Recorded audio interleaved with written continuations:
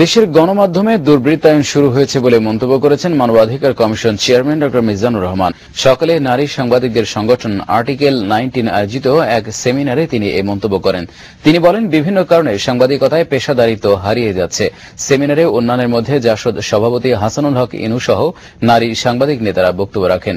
সাংবাদিক নেতারা বলেন, নারী সাংবাদিক সহ সব সাংবাদিকের নিরাপত্তার দায়িত্ব রাষ্ট্রকেই নিতে হবে।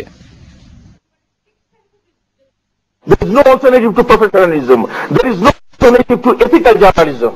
প্রকৃত সাংবাদিক এবং কে ভুয়া সাংবাদিক, এটা নির্ণয় কে করে দেবে এবং এই সাংবাদিকের অত্যাচারের হাত থেকে আমার মতো সাধারণ মানুষকে কে রক্ষা করবে আপনাদের সাংবাদিক জগতের হাত থেকে সাধারণ মানুষ কীভাবে রেহাই পাবো